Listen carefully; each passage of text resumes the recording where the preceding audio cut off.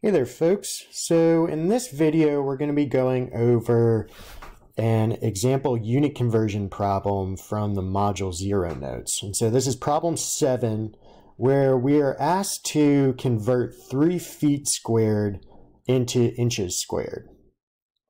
And so in this video we're going to use two different approaches and we're going to see if we can get to the same, res same result using both approaches.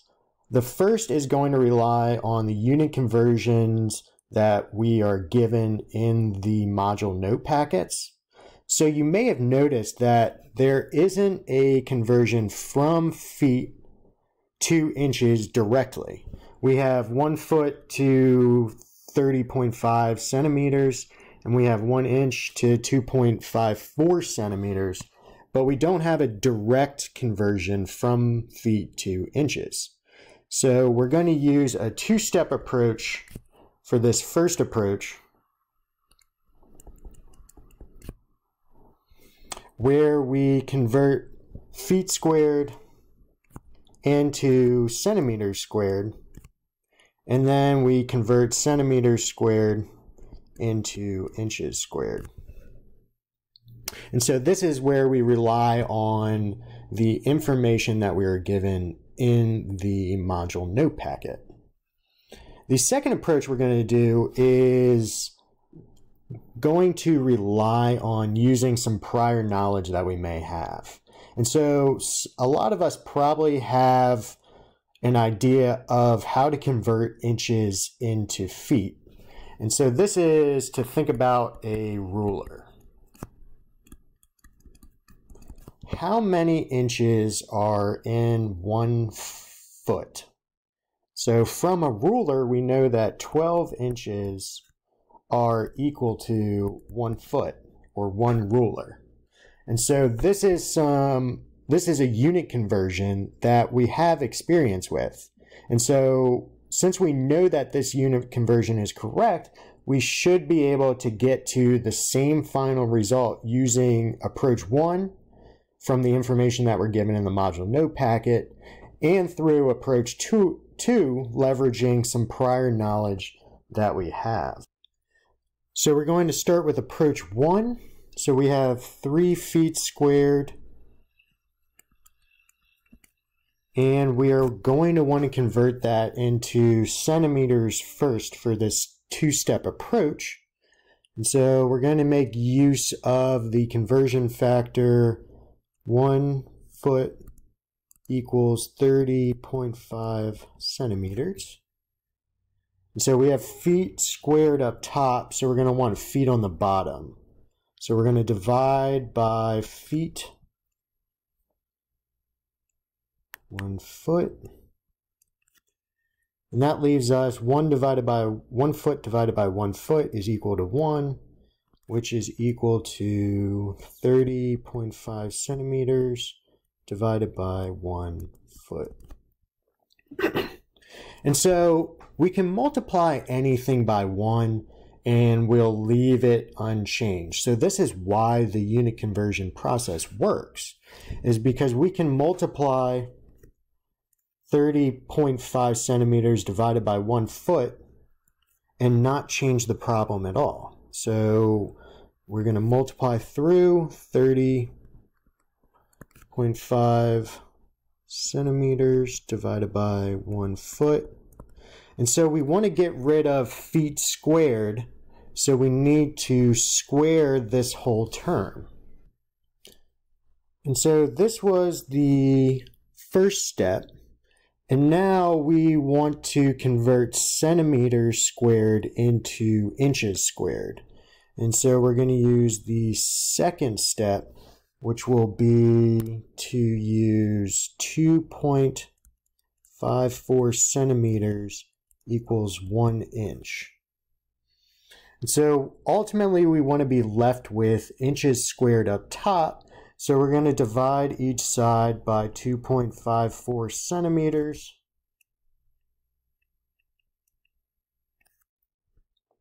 And so that we are left with 1 is equal to 1 inch over 2.54 centimeters. So again, we can multiply this equation by this ratio and leave it unchanged. So we're going to multiply through 1 inch divided by 2.54 centimeters. And since we have centimeters squared up top, we need to again square this ratio so that we have centimeters squared on the bottom and ultimately we have inches squared up top, which is what we're looking for. So just labeling this, this is the first unit conversion that we utilized, and this is the second unit conversion that we utilized. And so from here, we can just start simplifying. So equals 3.0 feet squared times we have 30.5 squared. That is equal to 930.25. We need to square the unit as well, so we're left with centimeters squared over 1 squared, which is just 1, and feet squared. And then for the next one, we have 1 inch up top. So 1 squared is just 1, and then inches squared. And then we have on the denominator 2.54 squared, which is equal to 6.4516. And then centimeters squared. Now that we have everything written out, we can start to cancel units. So we have feet squared up top. We have feet squared on the denominator. We have centimeters squared up top. And then we have centimeters squared on the denominator. And that leaves us with the base unit that we're looking for is inches squared. Now we can simplify all of the numbers. And if we do that, we are left with 432.56 we are left with inches squared. And in terms of three significant figures that is equal to 433 inches squared. So let's count squared is equal to 433 inches squared.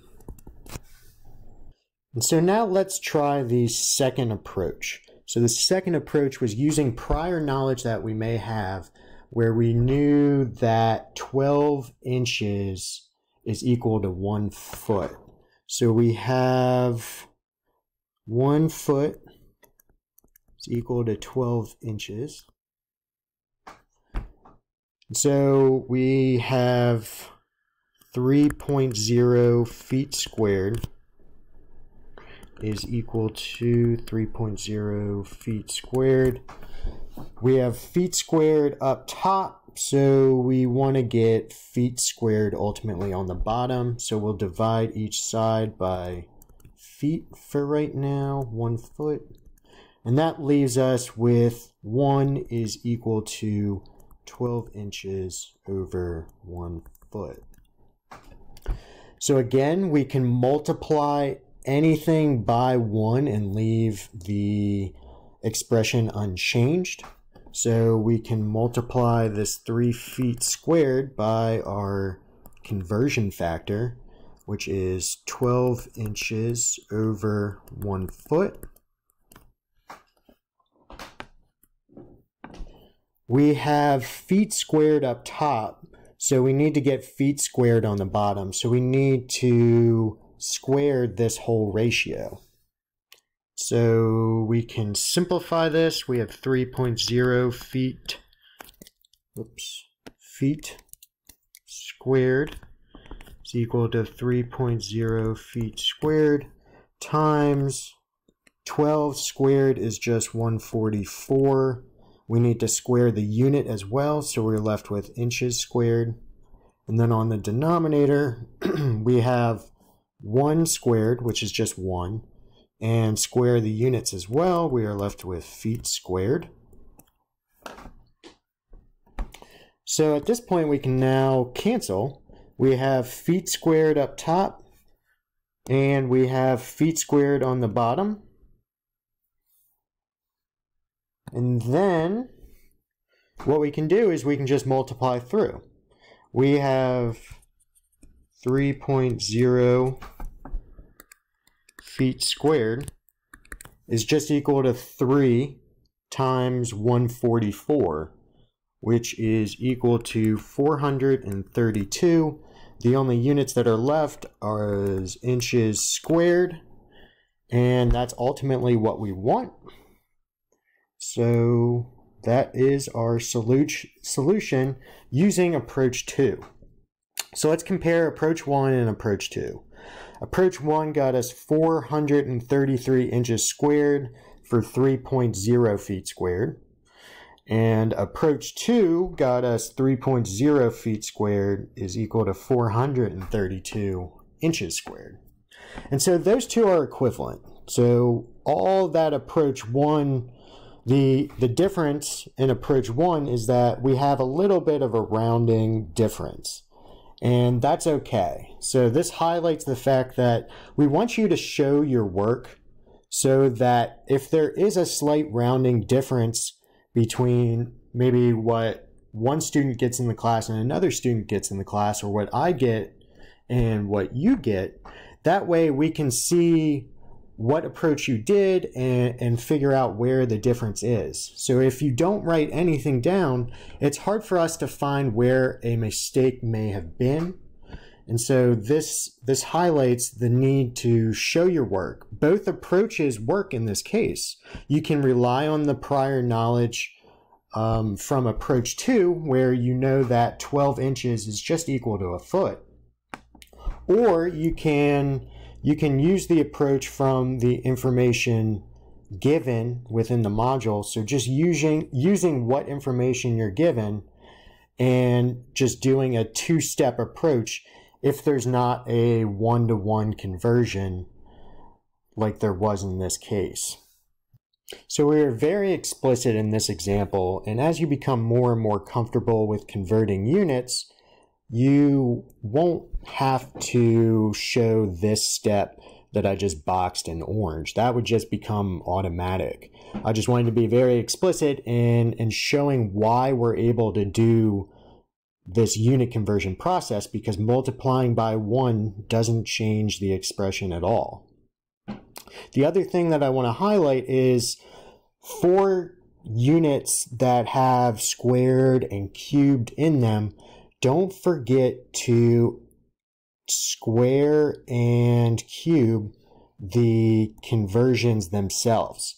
So as this becomes more and more automatic, the the the further you get along in this course, that's going to be something pretty common to just skip where you just search out you're looking for feet, you just have the unit conversion for feet, but you forget to square the whole conversion factor that I know that's something that that I run into on the occasion where if I'm just kind of rushing through it and not really thinking about it since it becomes almost second nature that's something that you can forget and ultimately it's going to carry all the way through to your answer